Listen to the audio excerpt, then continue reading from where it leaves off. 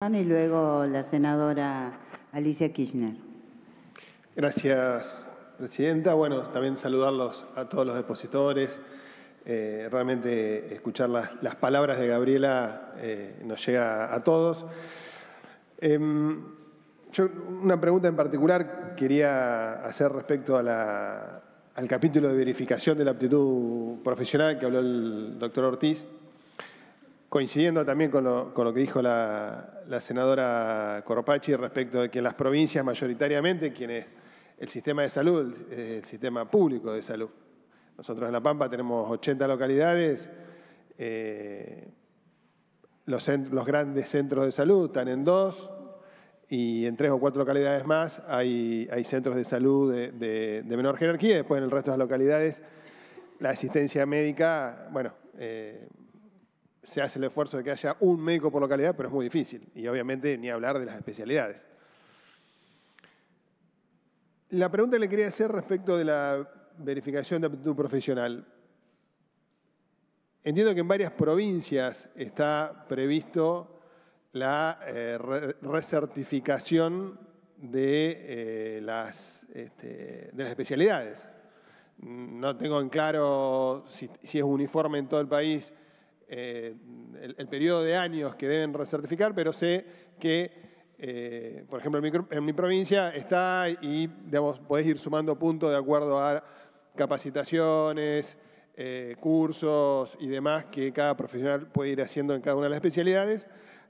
además también de, mm, este, no creo equivocarme también, tenés que rendir un, como un examen previo de la especialidad para que tenga la matrícula especial en la provincia. La pregunta concreta es si tienen más o menos un panorama a nivel país, si en la mayoría de las provincias existe la legislación provincial por la competencia que tienen en salud las provincias de las recertificaciones, y si no, bueno, cómo, digamos, este, este, este capítulo de la ley que, que prevé esto, cómo compatibilizaría con la normativa provincial.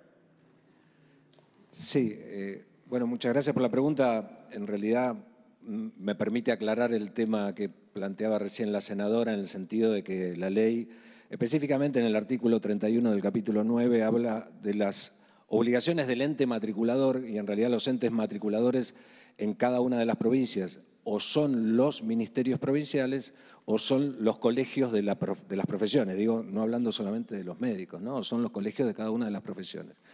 Eh, y ellos son las autoridades competentes en cada lugar. Esto obligaría, lo que nos obliga la ley es a trabajar en un consenso con cada uno de esos entes matriculadores, con cada una de esas jurisdicciones, o si está delegado en el colegio médico, para eh, llevar adelante las cuestiones de la ley. O sea que no, choca, digamos, con, la legislación que existe actualmente.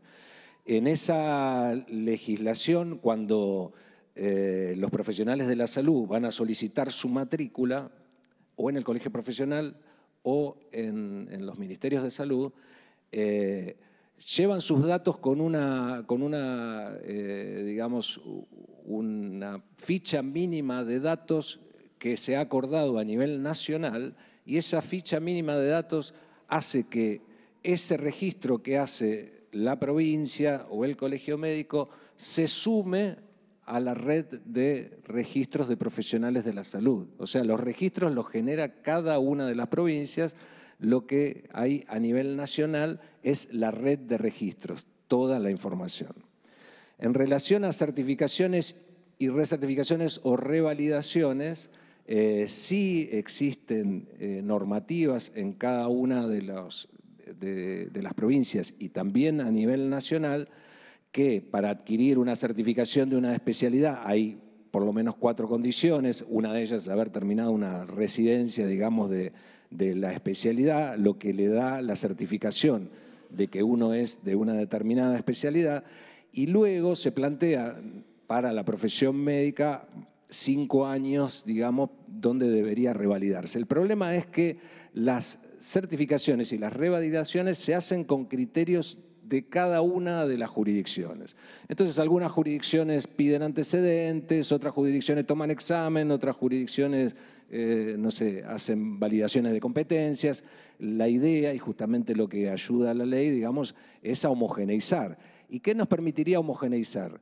que un profesional de la salud que es reconocido en una especialidad en una provincia sea reconocido por la misma especialidad en otra, o que revalide en una sea revalidado en otra, porque los procesos son similares. También habría que acreditar la calidad de esos procesos. Pero digo, no, ese sería el tema. Hoy muchos colegios médicos hacen revalidaciones eh, y muchas provincias hacen revalidaciones de especialidades, pero el otro detalle es que no son obligatorias no son obligatorias, son voluntarias. Ese es un detalle importante que la ley viene a resolver. Sí, eh,